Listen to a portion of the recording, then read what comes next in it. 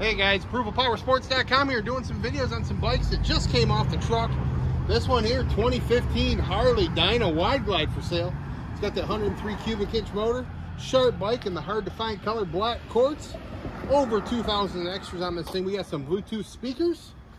We got uh, Roland Sands intake, Hines exhaust. It sounds great. This bike turns heads everywhere it goes.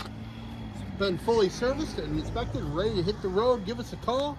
We'll get it done. It's 810-648-9500. Or check them all out at ApprovalPowersports.com.